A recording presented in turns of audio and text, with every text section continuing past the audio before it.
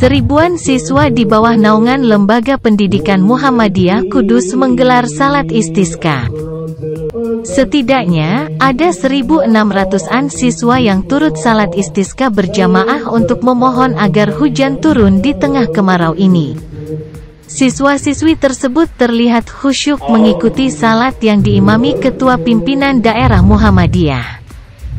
Setelah salat, terlihat mereka juga memanjatkan doa kepada Allah secara serentak.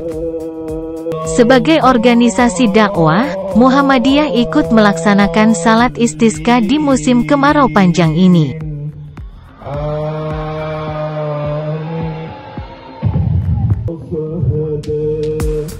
والذي أخرج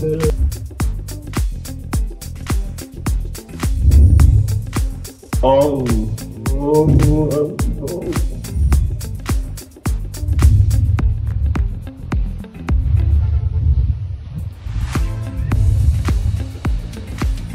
سمع الله.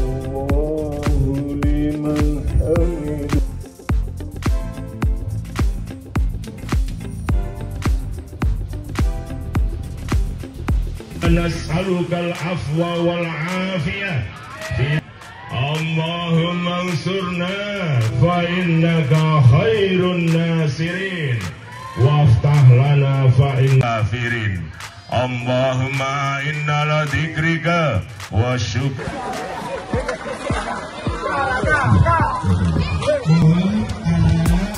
Seluruh